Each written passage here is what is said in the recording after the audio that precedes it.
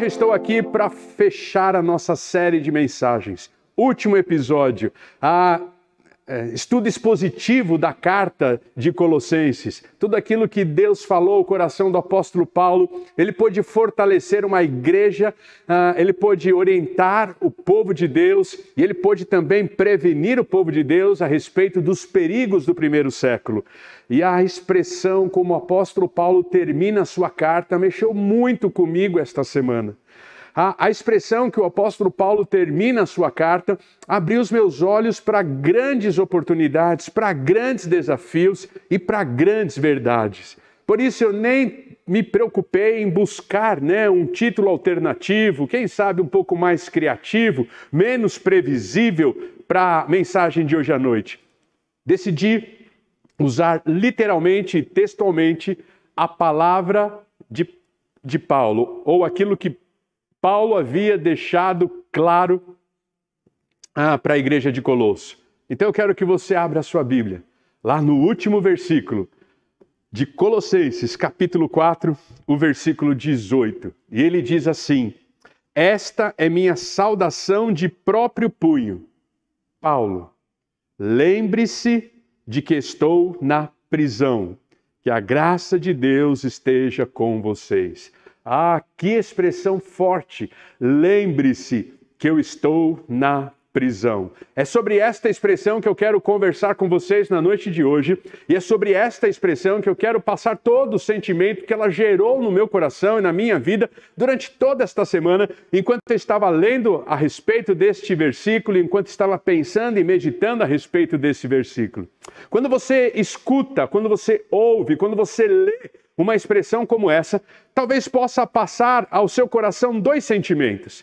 Ah, você acompanhou a igreja de Colossos na perspectiva de Paulo. Você viu quais eram os ensinos que Paulo queria ressaltar, quais eram os perigos que Paulo queria combater, quais eram, então, a, qual, qual foi a maneira como Paulo apresentou Jesus como supremo das nossas vidas, supremo dos nossos relacionamentos, supremo da nossa história.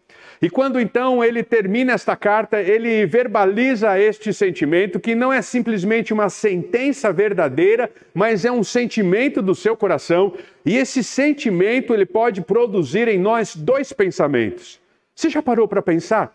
O que é que Paulo estava sentindo? O que é que Paulo estava pensando quando ele afirmou, quando ele reconheceu a sua condição ou quando ele fez questão de lembrar a igreja da condição dele?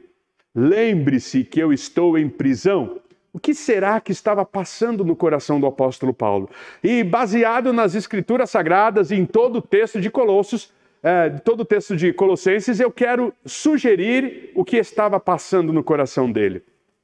O primeiro sentimento que pode vir à nossa mente, que não é o que estava passando no coração dele, é que Paulo talvez estava pedindo a piedade, né? Paulo estava pedindo a empatia, Paulo estava pedindo a generosidade, Paulo estava pedindo a atenção daquela igreja para com a sua condição e para com a sua pessoa.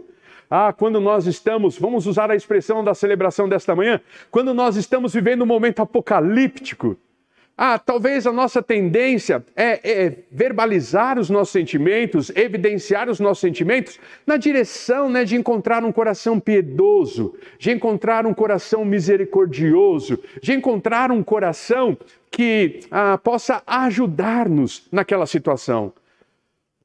Talvez o que pode passar no nosso coração, que não estava passando no coração do apóstolo Paulo, é dizer assim: lembre-se que eu estou em prisão.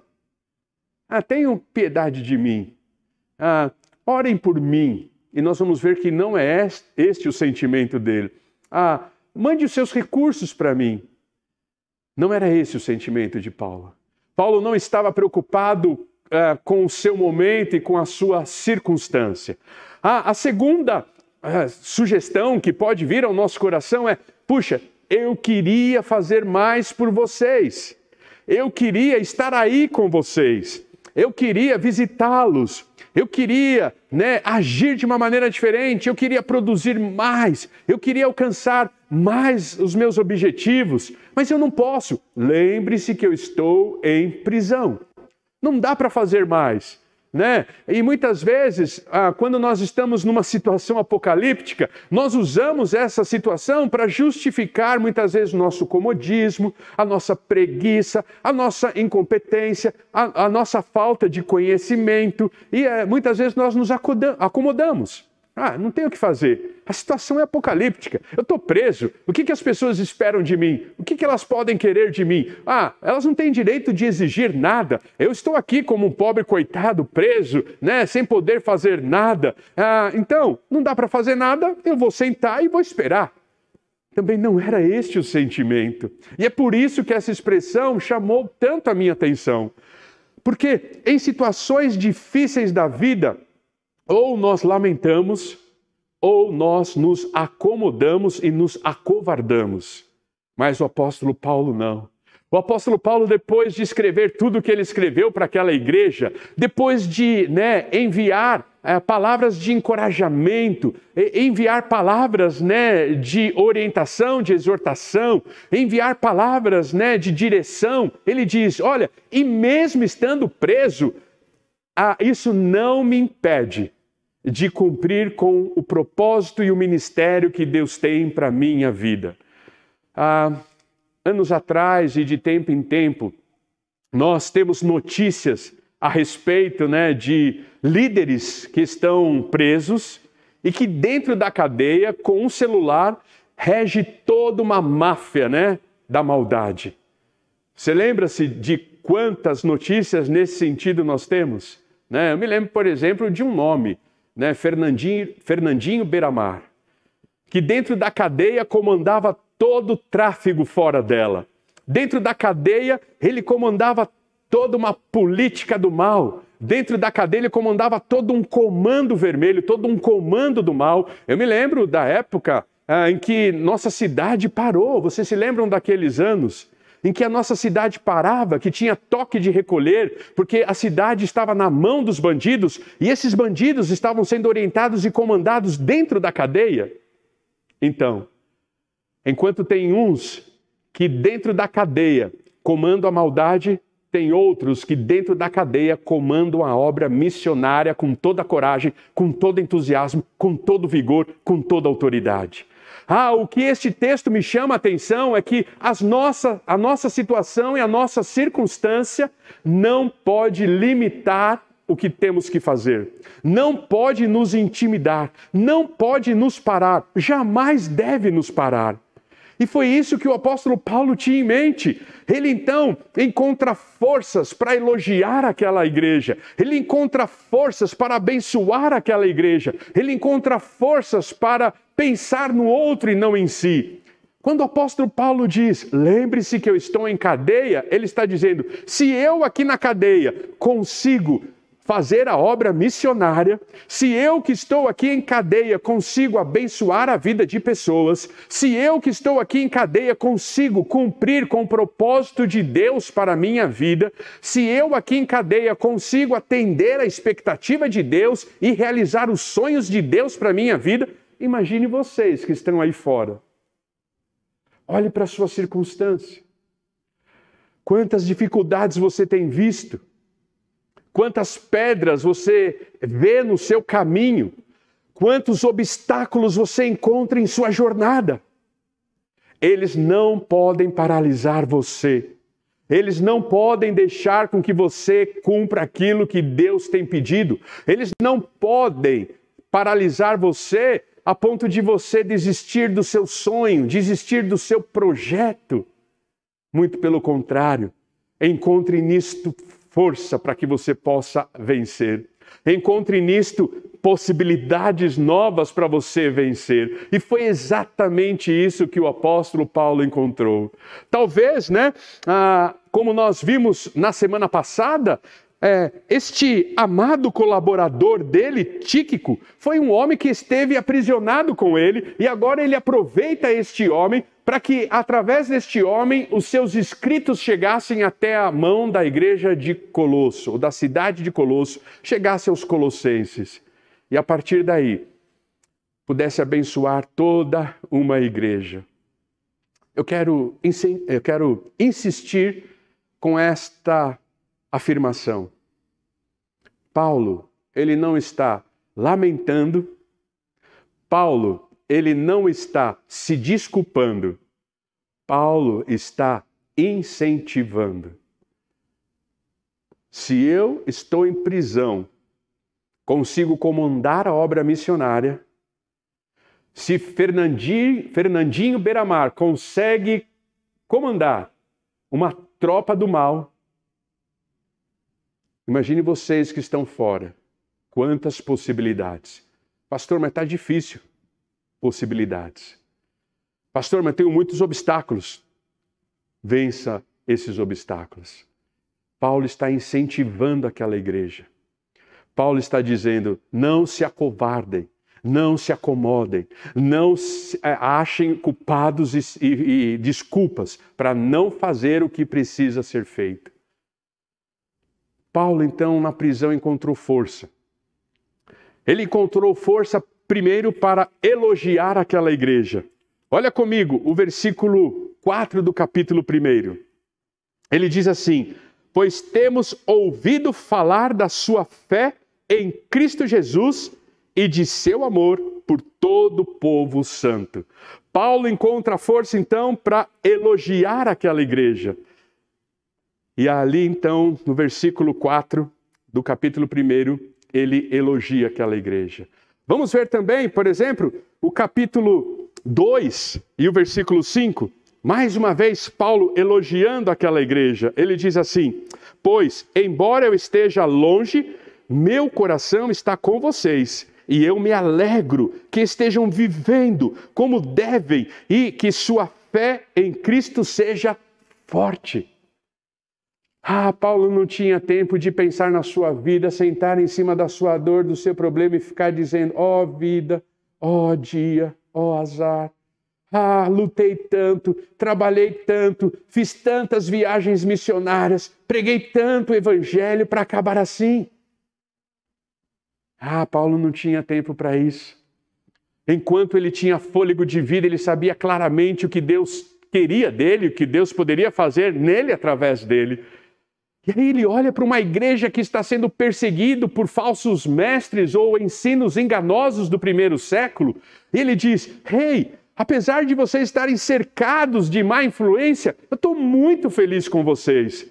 Meu coração vibra com vocês porque vocês estão firmes. Eu vejo que a fé de vocês é forte em Jesus. Eu vejo que vocês são apaixonados pela igreja local. Eu vejo que vocês são apaixonados por aqueles que passam na cidade de Colossos e são nossos irmãos em Cristo. Parabéns. Mas naquela situação, Paulo poderia ter usado a carta, né, como eu já disse, e no meio da sua carta dizer assim: olha, eu preciso que vocês estejam orando por mim, porque aqui a situação está muito difícil. Eu preciso que vocês estejam orando por mim, porque eu estou num estado aqui deplorável. Né? Eu estou aqui preso numa cadeia né, insalubre, fria, é, úmida, eu vou morrer aqui, a guilhotina está lá fora, eu já estou vendo a guilhotina, daqui a pouco eu vou ser decapitado. Ah, ore por isso, pede que Deus me tire daqui, oh, interceda aí, faça uma vigília aí, por favor, para que Deus me tire dessa condição. Paulo não tinha tempo para pensar em si, ele amava a obra missionária. Ele amava a, a propagação do evangelho. E olha o que ele fala, eu quero que você leia comigo ah, o versículo, o capítulo 1, versículos de 9 a 12. Leia comigo, Colossenses 1, de 9 a 12. Olha qual é o pedido que o apóstolo Paulo faz. Ah, oro para que o amor de vocês transborde cada vez mais e que continuem a crescer em conhecimento e discernimento. Quero que compreendam o que é verdadeiramente importante para que vivam de modo puro e sem culpa até o dia em que Cristo voltar. Que vocês sejam sempre cheios do fruto da justiça que vem por meio de Jesus Cristo para a glória e louvor de Deus. Paulo vai priorizar os seus irmãos. Ele tinha todo o direito, igreja, de dizer assim: peço que vocês estejam orando por mim, que estou quase morrendo. As dores são grandes, a fome é tremenda, o frio, né, é, é de matar. A guilhotina é o meu pesadelo. Ore pela minha libertação. Ore para que Deus mude o coração do rei. Ore para que Deus quebrante aqueles que têm o poder de mudar a minha situação. Paulo não tinha tempo para isso. Quando você está vivendo uma situação apocalíptica, talvez o seu maior erro seja ficar olhando só para a sua situação. Quando você está vivendo uma situação apocalíptica, talvez o seu maior problema seja você ficar só olhando para o seu problema. Você vira avestruz, você enfia a sua cabeça dentro do problema e não olha para mais ninguém, não tem sensibilidade com mais nada que está acontecendo do seu lado, e é aí que você morre. E é aí que você se afunda, porque você não vai ter a possibilidade de encontrar solução para o seu problema enquanto você não erguer a cabeça, enquanto você não olhar para a cruz, entendendo que é da cruz que vem a solução.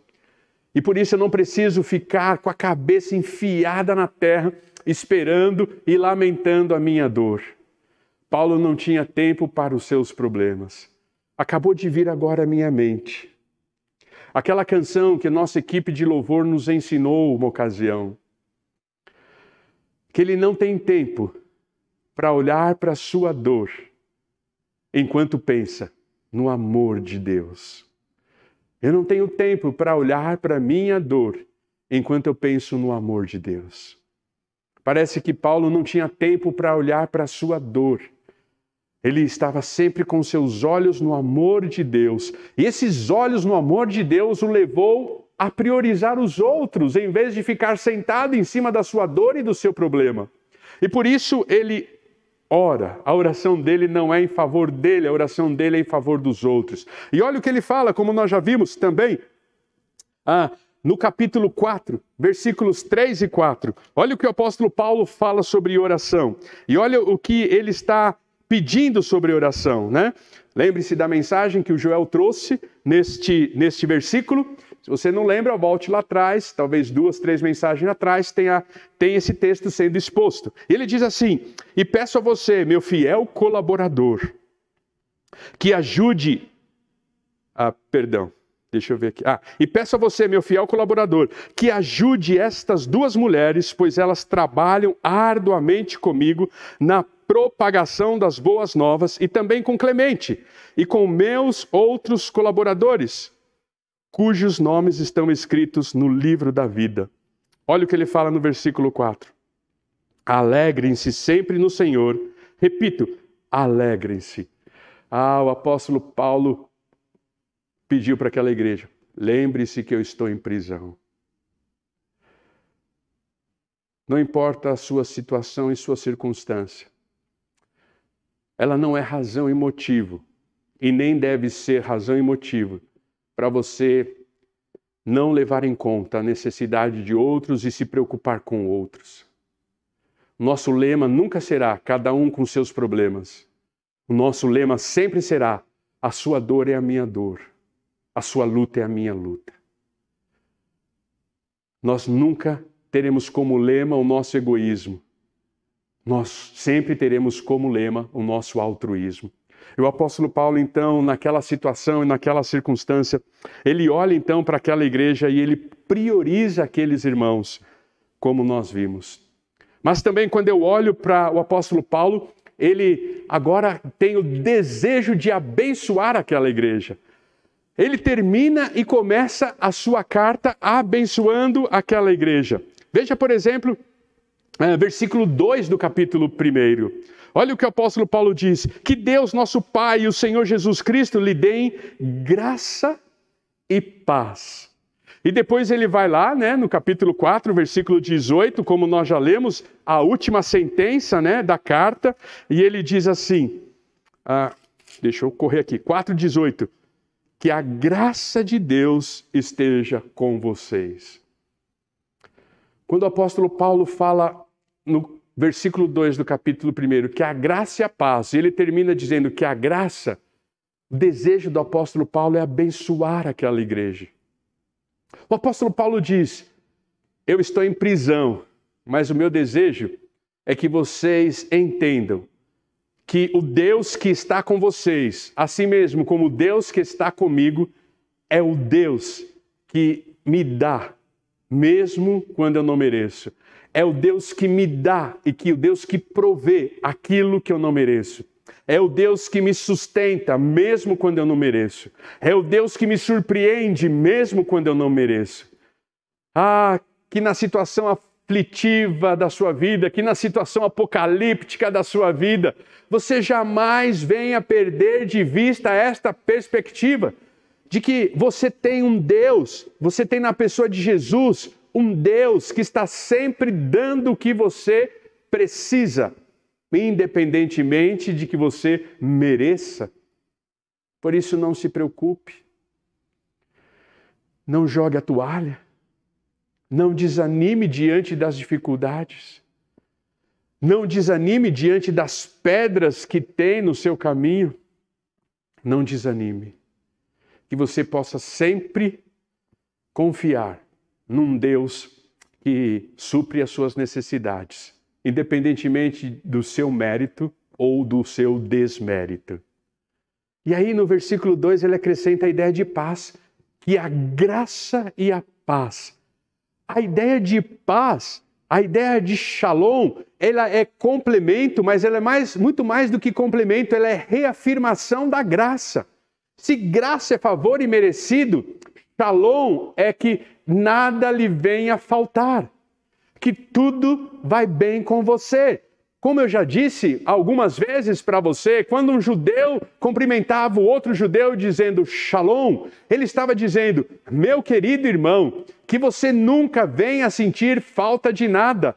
A paz é a ideia do sentimento de contentamento, o sentimento de preenchimento. Alguém que não tem falta de nada é que sente paz. Muitas vezes você não tem paz porque você está sentindo falta de alguma coisa. Você está sentindo falta de um salário melhor, você está sentindo falta né, de um relacionamento gostoso, de amigos, você está sentindo falta de um namorado, de uma namorada, você está sentindo falta né, de uma saúde que um dia você já teve e hoje você não tem mais, você está sentindo falta de um monte de coisa e isso rouba a sua paz. Por isso o judeu ele olhava para o seu companheiro e ele se saudava e se cumprimentava com shalom. E o shalom era que vocês não venham a sentir falta de nada, que tudo lhe bene, como diria um bom italiano.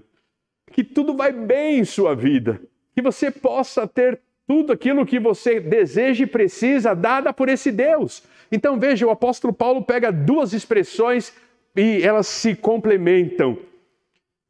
E elas dizem assim: que o Deus do favor, o Deus que nos dá sem merecermos, ele não deixe você a sentir falta de nada. Lembre-se que eu estou preso, mas ainda eu tenho tempo para abençoar a vida de vocês. Mas ainda o meu desejo é de abençoar a vida de vocês. Lembre-se que minha situação não é nada confortável eu tenho um monte de obstáculo. Tenho um monte de perguntas e nenhuma resposta.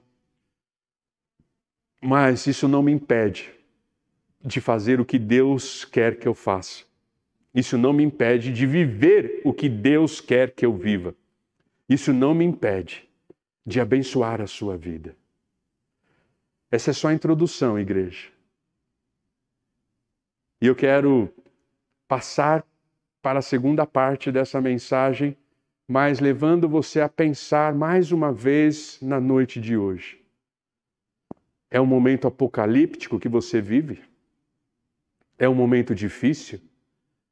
É um momento cheio de barreiras, cheio de obstáculos que você vive? Não deixe que isso impeça você de fazer o que Deus um dia já pediu para você fazer ou de viver o sonho que você tem retroalimentado em sua vida. Paulo não se inibiu diante da sua condição. Não se iniba diante da sua condição. E para que você não venha a ficar inibido diante da sua condição e ficar lamentando a sua situação, eu quero mostrar a você de onde veio essa força do apóstolo Paulo. Por que o apóstolo Paulo tinha tanta força para abençoar, para elogiar, para colocar o outro acima da sua própria situação? Essa força vinha de duas convicções que o apóstolo Paulo tinha. E essas duas convicções estavam relacionadas à maneira como Deus e Jesus se relacionam e à maneira como Jesus se relaciona conosco. Então, você tem que desenvolver no seu coração essas duas convicções. A primeira convicção, então, está relacionada a como Jesus e Deus se relacionam. E depois, a segunda convicção é como Jesus se relaciona conosco e o que ele coloca à nossa disposição. Então, vamos à primeira convicção. A primeira, então, convicção nos leva a ver que o apóstolo Paulo tinha certeza, e ele vai trabalhar no primeiro século a lembrança de que Jesus Cristo era Deus. Jesus Cristo tinha, então, na sua natureza, Deus, a divindade, Deus e Jesus eram um só. E ele tinha que defender isso no primeiro século. E vocês sabem que no primeiro século era muito difícil entender como algo bom podia se relacionar com a matéria, porque a matéria era má. E por isso eles tinham grandes dificuldades de entender que Jesus era Deus, porque Deus é bom e ele jamais ia se relacionar com a matéria que é má. Lembram-se disto? Por isso, João, o Evangelho, vai defender também a divindade de Jesus. Porque no primeiro século não havia a concepção, né? Se eu estou na matéria, se meu espírito está na matéria, porque o meu espírito é mau. Porque a matéria é má. E aí o, o apóstolo Paulo então tinha a convicção de que Jesus era Deus. Uma única essência que trabalharam em épocas diferentes em duas pessoas. Por isso a ideia da trindade e que é um conceito tão difícil. Mas essa convicção de Paulo, ela começa a ser verbalizada, por exemplo, no versículo 3 do capítulo 1. Vamos lá para o versículo 3 do capítulo 1? Sempre oramos por vocês e damos graças a Deus, o Pai de nosso Senhor. Olha lá, a relação de Jesus com Deus. Deus era o Pai de Jesus. E ali, então, nós vemos agora a relação ela sendo ampliada, né? E mostrando então que Jesus era de fato filho. Olha o versículo 13 também. Ele nos resgatou do poder das trevas e nos trouxe para o reino de seu filho amado, que comprou nossa liberdade e perdoou nossos pecados. Ah, e aí, a partir daí, o apóstolo Paulo vai é, descrever este relacionamento de Jesus com o Pai, do Pai com o Filho Jesus, de uma maneira muito próxima, de uma maneira muito íntima, de uma maneira muito ímpar. E é isso que dava força para o apóstolo Paulo não ficar ah, preso à sua condição, mas ele estava livre mesmo em sua condição. Ah, os homens prenderam Paulo, mas não prenderam a propagação do evangelho. Os homens prenderam Paulo, mas não prenderam a fé de Paulo. Os homens prenderam Paulo, mas não prenderam a sua energia, a sua alegria, a sua paixão pela obra missionária, a sua paixão em ver o evangelho crescendo e multiplicando. Porque ele sabia que Deus e Jesus eram pai e filho. E aí então ele vai descorrer desta, desta relação a ponto de, por exemplo, afirmar no versículo 25 que eles tinham a mesma mensagem, uma só voz, estavam completamente alinhados, estavam completamente né, no mesmo pensamento, no mesmo sentimento. Olha o versículo 25: Deus me deu a responsabilidade de servir seu povo, anunciando-lhes sua mensagem completa. E olha o versículo 3,16 para que você possa ter a certeza de que a mensagem de Deus e a mensagem de Jesus era a mesma. Que a mensagem a respeito de Cristo, em toda a sua riqueza, preencha a vida de vocês. Então, o apóstolo Paulo, no versículo 25, diz que ele foi chamado para anunciar a mensagem de Deus, e no versículo 16 do capítulo 3, ele diz então que agora a mensagem de Cristo nos preencha havia fina sintonia. Era uma só palavra, um só sentimento, né, como a gente vê o apóstolo Paulo falando sobre o que deve haver na igreja de Cristo Jesus, um só batismo. Ah, Paulo então está assegurado disso. E olha o que ele vai falar então a respeito do relacionamento entre Jesus e Deus, Deus e Jesus. No versículo 2 do capítulo 2, o apóstolo Paulo vai dizer que Jesus é o mistério de Deus. Olha que interessante, 2:2, a gente então tem esta revelação que eles sejam encorajados e unidos por fortes laços de amor e tenham plena certeza de que entendam o segredo de Deus. Talvez na sua tradução, porque é a tradução que eu memorizei, o mistério de Deus. Entenda o mistério de Deus. Qual é o mistério de Deus? Ah, nós vimos hoje de manhã que o mistério de Deus foi revelado a nós para nossa felicidade. E agora, o apóstolo Paulo vai dizer que o mistério de Deus, ele é o próprio Jesus. O próprio Jesus. Ah, que gostoso! O apóstolo Paulo está dizendo: Rei, hey, a minha convicção do relacionamento tão gostoso, tão próximo, né? tão íntimo de Deus com o filho, de filho com o pai, me dá esta força, me dá essa energia. E se você não conhece o mistério de Deus, ah, o mistério de Deus é o Filho, não poderia ser diferente. É um em carne, Pai e Filho. E ele então vai uh, encorajar aquela igreja a, a se apoderar né, desse sentimento. Então, qual é o mistério de Deus? O mistério de Deus é Cristo. Veja comigo ainda o versículo 13, porque agora ele vai falar que este relacionamento tão íntimo, esse relacionamento tão profundo, é agora um relacionamento uh, de um pai que ressuscitou o filho, de um pai que sempre esteve ao lado do filho e que, mesmo né, permitindo e programando e projetando a crucificação, não o abandonou. Veja o versículo 13: vocês estavam mortos por causa de seus pecados e da incircuncisão de sua natureza humana. Então, Deus lhes deu vida com Cristo ah, por que nós temos vida com Cristo? Porque antes de termos vida com Cristo, Deus deu vida a Cristo. Deus ressuscitou a Cristo. Deus ressuscitou a Jesus, pois perdoou todos os nossos pecados. Perdoou todos os nossos pecados. E ele faz isso porque o reino de Deus é o reino de Cristo porque o reino de Cristo é o reino de Deus. Vamos voltar para o versículo 13 do capítulo 1. E agora ele fala esse aspecto. Ele nos resgatou do poder das trevas e nos trouxe para o reino de seu Filho. E agora vamos ver o versículo 4, ah, versículo 11 do capítulo 4 nós fomos resgatados para o reino do Filho. E olha o que o versículo 11 diz: Jesus, chamado justo, também manda lembranças. Essas são as, os únicos irmãos judeus entre meus colaboradores. Eles trabalham comigo para o reino de Deus e tem sido um grande conforto para mim. Olhar para Jesus é como nós já sabemos, é olhar para Deus. Olhe para Deus e encontre Jesus. Se você tem olhado para Deus e não tem encontrado Jesus, talvez você não tenha olhado da maneira certa para Deus.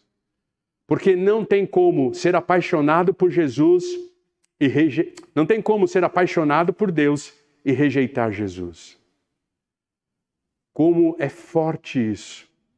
Em qualquer cultura religiosa, se você disser assim, eu creio em Deus, você não encontrará problema nenhum.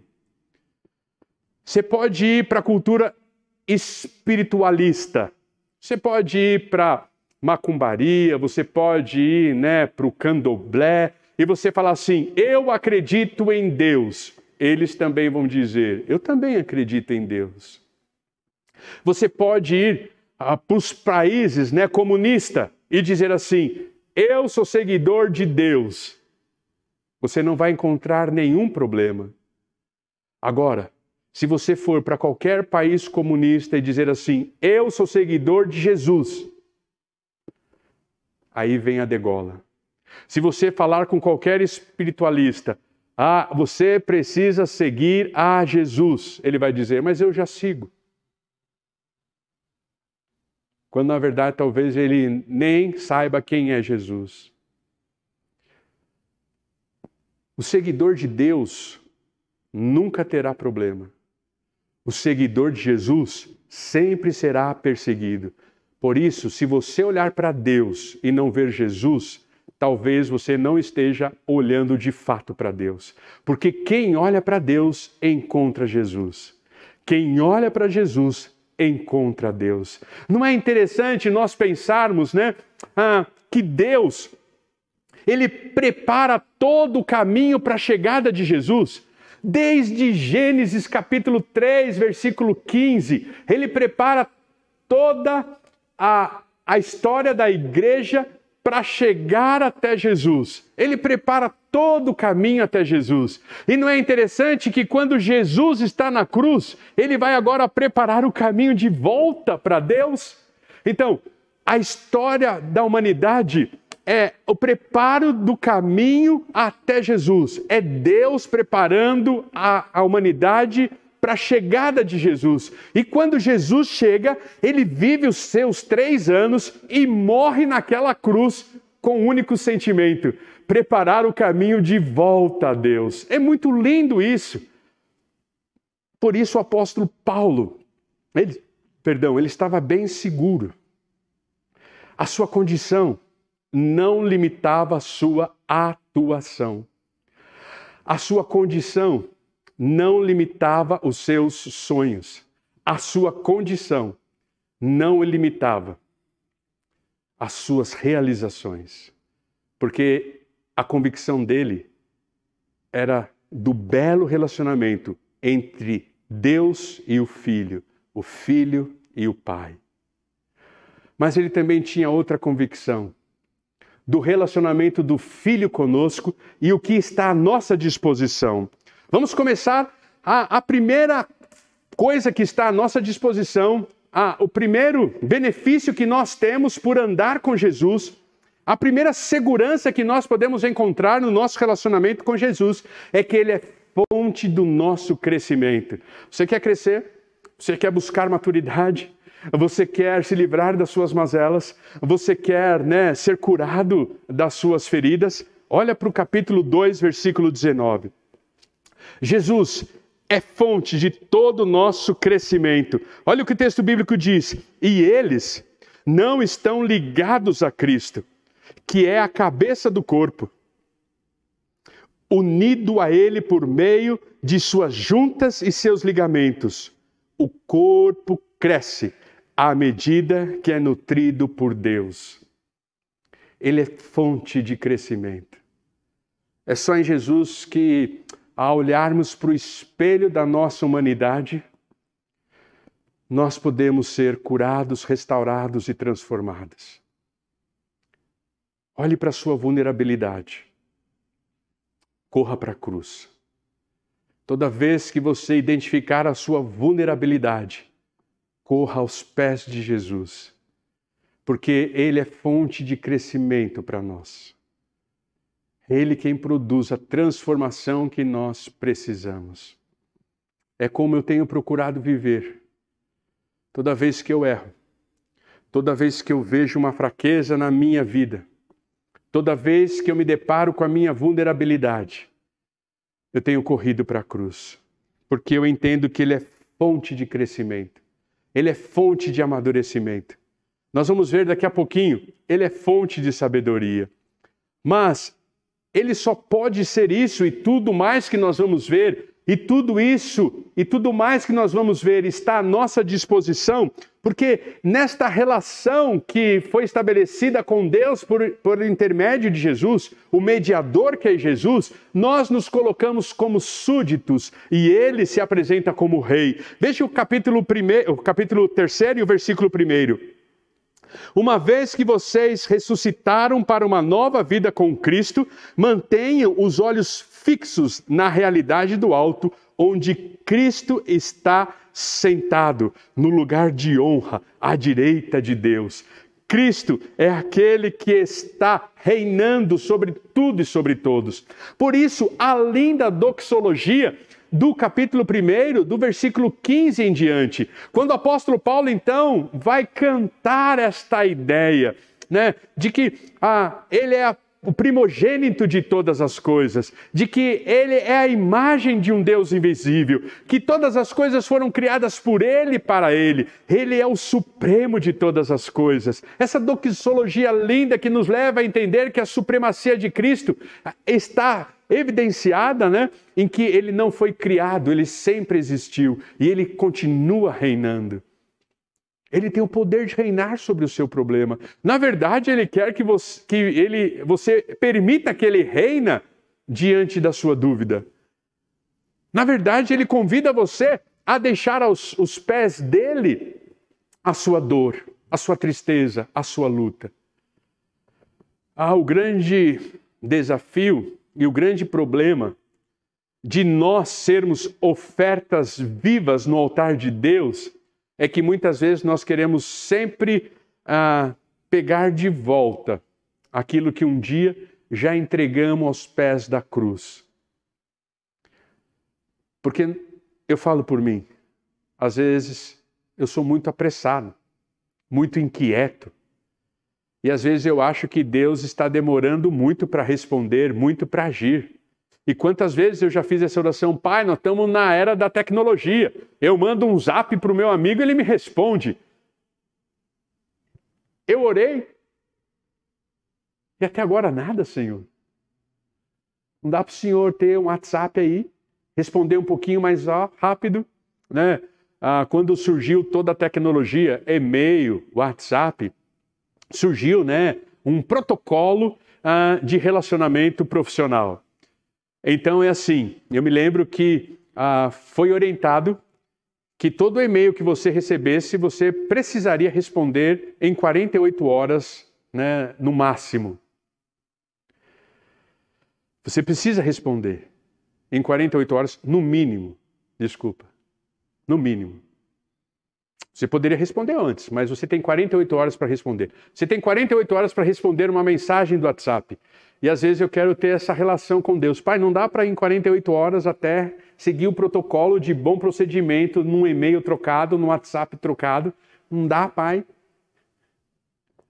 E aí, quando não vem 48 horas, eu vou lá no altar, vou lá aos pés da cruz e falo assim: Pai, deixa eu pegar de novo esse pacotinho aqui, porque eu vou tentar eu reinar sobre esse problema, eu reinar sobre essa dor, eu reinar sobre essa aflição. Deixa eu pegar esse pacotinho aqui, boto debaixo do meu braço de novo e vou viver.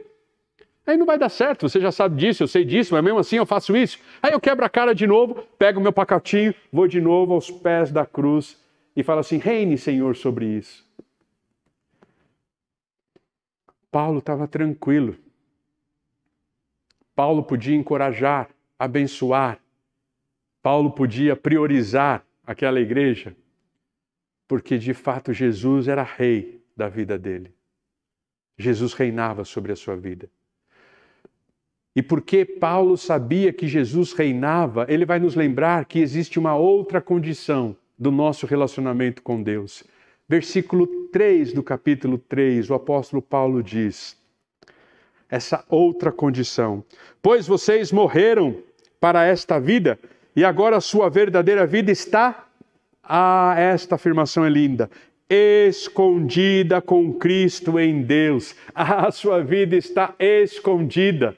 Ah, é Cristo que anda à sua frente. Eu sei que muitas vezes na pressa você quer passar Cristo, você quer deixar a cruz para trás, mas a cruz tem sempre que estar à sua frente, porque é ela que te defende dos dardos inflamados do inimigo, é ela que te defende de toda a maldade que se levanta contra você, é ela que te defende de todo o medo que tentam impor sobre o seu coração, é ela que te defende de todo o pessimismo que existe ao seu redor, é ela que te defende de todo o pavor que você tem pela vida e pela situação. Ah, em situação apocalíptica, se esconda atrás da cruz as pedras não chegarão e não, não acertarão você, porque você tem Cristo escondendo você, protegendo você, guardando você. O apóstolo Paulo diz: Ah, eu estou preso, lembre-se disso, mas nem por isso eu não estou sendo cuidado, protegido, porque agora a minha vida está escondida em Cristo. Este é o relacionamento que eu tenho com Ele e é isso que é oferecido para mim. Ah, na noite de hoje, por favor, não queira andar à frente da cruz, esteja sempre atrás da cruz. Não queira correr à frente de Jesus, você vai se cansar.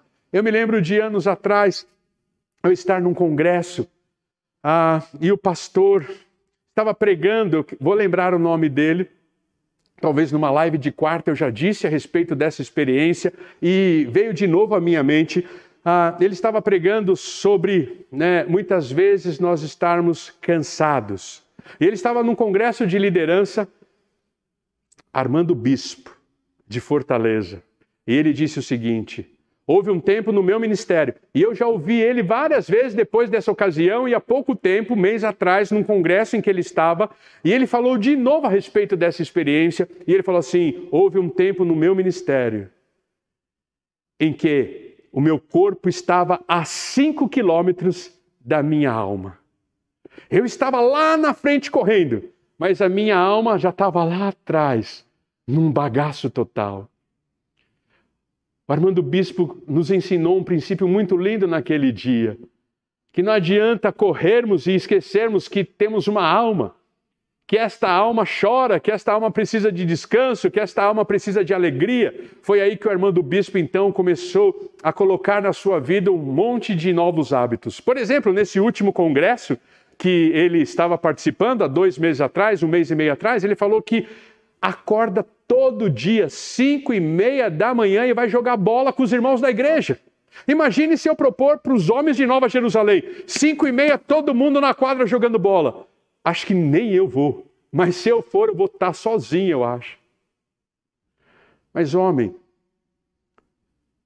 não deixe a sua alma a cinco quilômetros do seu corpo. Porque quando você deixar a sua alma a cinco quilômetros do seu corpo, o seu corpo estará desprotegido da cruz de Cristo. Continue deixando que a cruz te esconda. Continue deixando que a cruz te proteja. Continue deixando que a cruz te defenda. Continue deixando que a cruz te console. Continue deixando que a cruz te encoraje. Continue deixando que a cruz te anime, te revigore. Continue deixando. O apóstolo Paulo vai dizer àquela igreja: lembre-se, eu estou em prisão. Ah, mas no relacionamento que Cristo propôs para mim, ele continua me escondendo. Então, não desanimem, vocês que estão aí fora. Mas também Paulo tinha a sua consciência, a sua consciência de servo, a sua consciência né, de que ah, tudo que ele é, tudo que ele faz, ele deve fazer em nome de Jesus. Olha o versículo 17, o texto que eu preguei né, domingos atrás pela manhã, quando nós falamos sobre a balança. Deus equilibra a balança. E aí então ele vai falar no versículo 17: e tudo que fizerem ou disserem, façam em nome do Senhor. Em nome do Senhor. Parece que, de fato, a, a minha predisposição deve ser a agradar a Deus, a atingir a Deus, a despeito de muitas vezes eu ter que desagradar ao homem. Lembre-se, estou lembrando a mim mais uma vez, é mais fácil agradar a Deus do que uma igreja de mais de 300 membros. Não vou conseguir. Vou agradar uns, vou desagradar outros. Por isso eu tenho que manter-me reto em agradar a Deus e tudo que eu fizer, que eu possa fazer como se a Ele estivesse fazendo, a Ele dando crédito e a Ele adorando. Faça tudo em nome do Senhor. E quando nós fazemos tudo em nome do Senhor, é sinal de que, de fato, nós temos depositado a nossa fé nele. Que é a outra perspectiva ou a outra o outro benefício que Deus tem nos dado no relacionamento entre nós e Jesus. Olha comigo o versículo 4 do capítulo 1. Vamos voltando lá. Já lemos esse versículo, vamos ler de novo. Pois temos ouvido falar de sua fé em Cristo Jesus. Deposite a sua fé em Cristo Jesus. Veja de novo, por gentileza, o versículo 4 do capítulo 2. Eu lhes digo isso para que ninguém os engane com argumentos bem elaborados. Por que nós devemos depositar a nossa fé em Jesus? Para que ninguém nos engane. Ah, ouvimos tantas coisas, ouvimos tantas teorias, ouvimos tantas perspectivas sobre um mesmo caso, uma mesma situação, uma mesma circunstância. A quem dar ouvido? Em quem acreditar? Ah, em quem se apoiar? O apóstolo Paulo diz àquela igreja: lembre-se que eu estou em prisão e aqui eu tenho depositado a minha fé em Jesus e aqui ninguém me engana. Ah, que vocês estando aí fora, não deixe que ninguém vos engane. Lembre-se do contexto, primeiro século, misticismo, né? Ah, uma falsos mestres entrando na igreja e ele está falando assim: deposite a sua fé em Jesus. Só acredite naquilo que Jesus acredita. Só é verdade absoluta aquilo que Jesus declarou como verdade absoluta. Pode parecer muito radical, mas a vida cristã, ela é radical. Pode parecer muito, né, uma cultura é, de imposição totalitária, um regime é, de governo totalitário, mas a Bíblia é totalitária. Não tem tons entre branco e preto é branco e preto. No Evangelho não tem cinza. Coloque a sua fé em Jesus. A verdade que ele anuncia é verdade. A verdade que ele não anuncia, desconfie até você dizer que é verdade. Alguns anos atrás, eu tomei uma decisão no meu ministério e que eu tenho aplicado aqui em Nova Jerusalém que me ajuda muito. Eu nunca fico com a verdade de terceiros. Ó, oh, pastor, deixa eu te falar uma coisa, ó. Ó, precisa dar uma olhada ali, porque parece que aconteceu isso, aquilo, aquilo outro. Eu vou sempre na fonte. Eu nunca fico com a verdade de terceiros. Porque a verdade de terceiros pode estar carregada de emoção, porque a verdade de terceiro pode estar carregada de medo, porque a verdade de terceiro pode estar carregada de ciúmes, porque a verdade de terceiro pode estar carregada de inveja, porque a verdade de terceiro pode estar carregada de mágoa, ou porque a verdade de terceiro simplesmente é a perspectiva do terceiro. Eu sempre vou à fonte. Não fique com verdade de terceiros. Vá à fonte. Beba de Jesus. Deposite sua fé em Jesus. Creia em Jesus. E assim você nunca será enganado. O apóstolo Paulo está seguro. Oh, lembre-se que eu estou em prisão. Mas a minha convicção é que eu tenho um relacionamento seguro com Jesus, porque eu tenho depositado a minha fé em Jesus. Por isso ele vai dizer, né, no versículo 4: Eu lhes digo isso para que ninguém os engane com argumentos bem elaborados. Mais uma verdade que está à nossa disposição como servos de Jesus. Capítulo 1, versículo 22. O texto bíblico diz que este relacionamento só é possível porque Jesus ele morreu por nós. Versículo 22. Agora, porém, ele os reconciliou consigo por meio da morte do filho no corpo físico. É interessante o apóstolo Paulo afirmar a morte do filho no corpo físico. Sim, muitos estão no corpo físico vivo, mas no espírito mais mortos do que nunca. Mortos porque estão escravizados pelos seus pecados e pelos seus delitos. Mortos porque estão distantes de Jesus e não têm um relacionamento íntimo com Ele. Por isso o apóstolo Paulo diz: ele morreu sim, mas foi o corpo dele que morreu. Ele sempre esteve no seu espírito vivo porque nele não habitou pecado algum, mas ele se fez pecador por nós, para que ao morrer naquela cruz pudesse vivificar o nosso espírito. Como eu gosto de dizer, na cidade de São Paulo tem um monte de vivo morto e tem um monte de morto lá na sepultura, mais vivo do que nunca. Porque a palavra de Deus nos lembra e nos afirma que aqueles que estão em Cristo não morrem, mas passam da morte para a vida. Aleluia por isso. Glória a Deus. Estamos cantando desde amanhã a eternidade. Vem aí o congresso da nossa juventude, eternidade. Ah, que Deus estampe nos seus olhos a eternidade. Que você viva pelo lado certo da eternidade.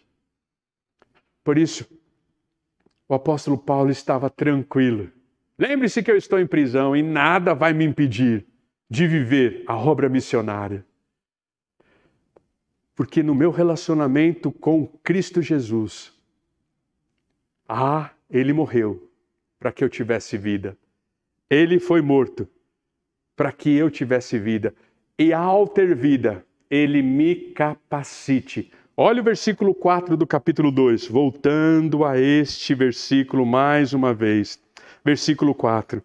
Eu lhes digo isso para que ninguém os engane com argumentos bem elaborados. A ideia de argumentos bem elaborados é a ideia de alguém que está sendo capacitado alguém que está sendo capacitado para perceber a artimanha de alguém. Mas, além desse versículo, olha comigo o versículo 24 e depois o 28 e o 29. Alegro-me quando sofro por vocês em meu corpo, pois participo dos sofrimentos de Cristo que continuam em favor de seu corpo, a igreja. Veja o versículo 28. Portanto, proclamamos a Cristo advertindo a todos e ensinando a cada um com toda sabedoria, para apresentá-los maduros em Cristo.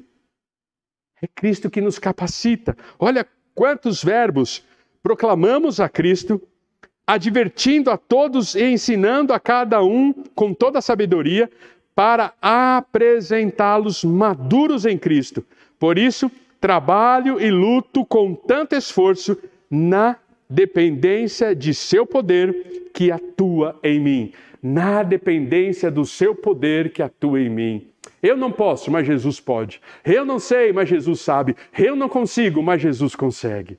Ah, o apóstolo Paulo, lembre-se que eu estou em prisão, e mesmo em prisão, ele tem me capacitado a encorajá-los, a motivá-los, a orientá-los, a exortá-los. Ele tem me capacitado a elogiá-los, ele tem me capacitado a priorizá-los, ele tem me capacitado a abençoá-los. Ah, nosso relacionamento com Jesus, ele é fonte de conhecimento, ele é fonte de sabedoria, é ele quem nos capacita. Ah, você não consegue pela força dos seus braços? Glória a Deus por isso. Seria muito ruim se tudo que você tivesse que fazer, você conseguiria com a força dos seus braços. Com certeza você daria as costas para Jesus e viveria da sua maneira. Glória a Deus que você não sabe tudo. Glória a Deus que os seus braços são curtos. Glória a Deus que as suas pernas são fracas. Glória a Deus que a sua inteligência é limitada. Glória a Deus que você de tempo em tempo tem medo. Glória a Deus que tempo em tempo você está inseguro. Glória a Deus que tempo em tempo você tem que bater a mesa e dizer: Eu não sei, eu não consigo. Não dá, não cobre isso de mim. Glória a Deus, porque de tempo em tempo você é lembrado que você é homem limitado. Porque toda vez que você é homem limitado e é lembrado disso, você pode recorrer desse relacionamento que você tem com Jesus e dizer: capacita-me, ó Pai. Eu não consigo resolver isto, capacita-me. Eu não tenho capacidade para socorrer essa situação. Preciso do Senhor. Ah, o apóstolo Paulo lembra aquela igreja: lembre-se que eu estou em prisão e daqui, esse lugar insalubre, e daqui, olhando a guilhotina lá fora, ele continua me capacitando. A convicção do apóstolo Paulo estava no relacionamento de Jesus com o Pai, mas de Jesus conosco. Jesus é aquele que te capacita, aquele que é fonte de sabedoria, aquele que morreu para lhe dar vida, aquele que lhe dá, aquele que lhe dá conhecimento. Jesus é aquele que chama e ajuda você a andar corretamente nos seus relacionamentos. O apóstolo Paulo, então, vai dizer exatamente isso. Veja comigo. Ah, o versículo 2, ah, perdão, o versículo 3 do capítulo 2. Nele estão escondidas, nele estão escondidos todos os tesouros de sabedoria e conhecimento. Ele te capacita, porque nele estão escondidos os tesouros de sabedoria e conhecimento.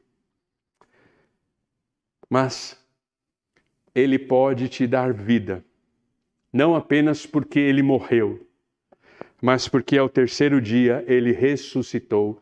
Veja de novo o versículo 1 do capítulo 3. Uma vez que vocês ressuscitaram para uma nova vida com Cristo. Nós fomos ressuscitados com Cristo. Olha o versículo 3: Pois vocês morreram para esta vida e agora a sua verdadeira vida está escondida com Cristo em Deus. E quando Cristo, que é a sua vida, for revelado ao mundo inteiro, vocês participarão da sua glória. Alguns, na interpretação da escatologia, estão está esperando o tocar da trombeta. E no tocar da trombeta, antes daqueles ascenderem aos céus, sendo arrebatados, antes de acontecer o arrebatamento, acontecerá a ressurreição dos mortos. Então, se a sua linha teológica, né, de expectativa futura, você crê no arrebatamento, então é assim: o próximo advento que você está esperando é Cristo tocar a trombeta e voltar nos ares. E aqueles que estavam mortos serão ressuscitados, e aqueles que estão vivos serão arrebatados. Então, o próximo advento que você está esperando é a ressurreição dos mortos. Porque Cristo morreu, não apenas para nos darmos, nos darmos vida desse lado de cada eternidade, mas nos dar vida do lado de lá da eternidade. E se você não for arrebatado, ah, o dia em que Cristo Jesus voltar, a sepultura vai tremer. As sepulturas ficarão vazias. E você será ressuscitado e levado, ele atrairá você até ele nos ares, para reinar para todos sempre. Então Paulo não tinha medo de morte.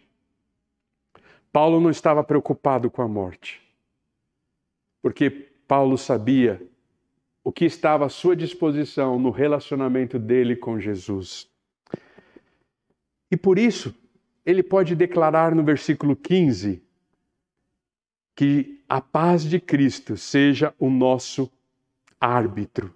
E ele vai dizer então no versículo 15: olha o que ele diz: Permitam que a paz de Cristo governe o seu coração, pois, como membros do mesmo corpo, vocês são chamados a viver em paz e sejam sempre agradecidos. Você tem vivido em paz? Você tem desfrutado da paz de Jesus? Lembre-se que eu estou em prisão aqui eu estou em paz. Porque eu tenho convicção do que é que Jesus deixou para mim no meu relacionamento com Ele. E aí o apóstolo Paulo vai falar a respeito do senhorio sobre os nossos relacionamentos, a partir do versículo 18 do capítulo 3. E ele vai então né, falar a respeito de como devem ser os nossos relacionamentos familiares, profissionais, orientados por Jesus. Lembra-se? Ele iguala a balança. E ali então, ele vai também terminar a, a afirmação. Domingo passado aprendemos com Alexandre que todos nós precisamos de uma rede de apoio. E aí o apóstolo Paulo vai dizer que esta rede de apoio, ela é criada e sustentada por Jesus. Olha o versículo 7. Tíquico, irmão amado e colaborador fiel que trabalha comigo na obra do Senhor, lhes dará um relatório completo de como tenho passado. Trabalha comigo na obra do Senhor. Ah, toda a rede de apoio, toda a rede de solidariedade, toda a rede de cumplicidade, ela é formada e sustentada por Jesus. Olha o versículo 17. E digam a Argipo, Cuide em realizar o ministério que o Senhor lhe deu. Ah, se você tem uma rede de apoio, lembre-se que isso é resultado da vida, da presença, da manifestação de Jesus em sua vida. Porque é Ele quem cria essa rede de apoio e é Ele quem faz manutenção dessa rede de apoio. Por isso, para mim, você já sabe, é muito difícil às vezes ver pessoas indo embora. Pessoas que passam pela nossa vida e às vezes vão embora e nem olha para trás para dizer simplesmente tchau. E às vezes a gente acha que Deus está levando a nossa rede de apoio. Mas toda vez que a rede de apoio vai embora, já tem outro na fila chegando, porque rede de apoio é mantida por Jesus e criada por Ele. Por isso, esteja sensível, quem sabe, para você ser a rede de apoio de alguém, ou Seja sensível para que você perceba quem é a sua rede de apoio e glorifique a Jesus, porque é Ele quem cria, é Ele quem sustenta. E Paulo, ele não precisava olhar para fora da prisão e dizer assim: Ei, orem por mim, cuidem de mim, sejam a minha rede de apoio, porque ele sabia que ele tinha uma rede de apoio, porque isto é evidência da presença de Jesus em nossas vidas. Ah, Paulo tinha então duas convicções de como o pai e o filho se relacionavam e de como o filho e os seus súditos, ou como Jesus e seus servos se relacionam. O que é que Jesus tem colocado à nossa disposição? Jesus tem colocado à sua disposição o conhecimento dele. Jesus tem colocado à sua disposição a sabedoria dele. Jesus tem colocado à sua disposição a proteção dele. Jesus tem colocado à sua disposição a vida dele. Jesus tem colocado à sua disposição a vitória sobre a morte que ele teve. Jesus tem colocado à sua disposição uma rede de apoio. Jesus tem colocado à sua disposição o senhorio dele sobre a sua vida para que você saiba e aprenda a viver em comunidade. Aprenda aprenda a se relacionar, para que você, esposo, aprenda a se relacionar com a sua esposa e vice-versa, para que você, pai, aprenda a se relacionar com seu filho e vice-versa, para que você, empregador, aprenda a se relacionar com o empregado e vice-versa, para que você aprenda a viver em comunidade. E por isso, eu volto onde tudo começou. Às vezes a vida nos prestigia com esta possibilidade de nós terminarmos aonde começamos. E eu quero terminar com vocês aonde começamos. Depois do apóstolo Paulo dizer que toda a rede de apoio é criada e sustentada por Jesus, ele diz: lembrem-se que eu estou em prisão. A prisão não prendeu os sonhos de Paulo. A prisão não prendeu a coragem, a vitalidade, a paixão de Paulo. A prisão não prendeu o evangelho de ser anunciado. O que é que tem lhe prendido? Isso não vem de Deus. Se você hoje sente-se preso, tenha certeza, isso não vem de Deus. Porque aquilo que vem de Deus não nos inibe, não nos impede de fazer o que precisa ser feito. E nós sabemos que a prisão de Paulo veio de Deus. Porque quando o livro de Atos começa, lá no capítulo 1, no versículo 8, o livro de Atos diz assim: e ser-me-eis testemunhas em toda parte, em Jerusalém, em toda a Judéia, em Samaria e nos lugares mais distantes da terra. Eu sei, você decorou como eu, né? E ser-me-eis testemunhas, tanto em Jerusalém, Judéia, Samaria, até os confins da terra. Eu não consigo esquecer, é confins da terra. Os lugares mais distantes da terra. E para o primeiro século, o lugar mais distante da terra era qual cidade? Roma. Quando o livro de Atos termina, Paulo está preso em Roma. E Paulo está com soldados romanos aos seus pés. Você já sabe isso. Já ensinei isso para você. E lá em casa, nesse momento, na primeira prisão, um pouco mais confortável, prisão domiciliar, com soldados romanos ali, acorrentados a ele. Chegava um soldado e se convertia. Voltava para o palácio e pregava o evangelho. Chegava outro soldado e se convertia. Voltava para o palácio e pregava o evangelho. Chegava outro soldado e se convertia. Voltava para o palácio e pregava o evangelho. Quando a prisão é de Deus, ela não impede os seus sonhos. Se você se sente preso, se você não tem mais energia para realizar, se você jogou a toalha, se você já não tem mais perspectiva, se o túnel está escuro, escuro, escuro, que você não quer nem procurar uma luz, se você se sente preso a ponto de não ver mais possibilidades, repreenda isso em nome de Jesus, porque isso vem do inferno e não vem de Deus. E foi isso que mais impactou a minha vida esta semana.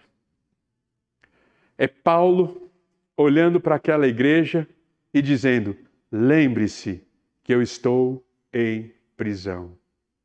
E mesmo assim, eu abençoei vocês eu priorizei vocês e eu elogiei vocês. Mesmo assim, eu continuo comandando a obra missionária. Mesmo assim, eu continuo vivendo o sonho que Deus tem para a minha vida. Por isso fica o grande desafio para você. Se liberte das correntes que impede você de ser o que Deus planejou sobre a sua vida. Me veio agora à mente. Não estava preparado essa fala final. Não seja como um Elias, escravizado por uma Jezabel.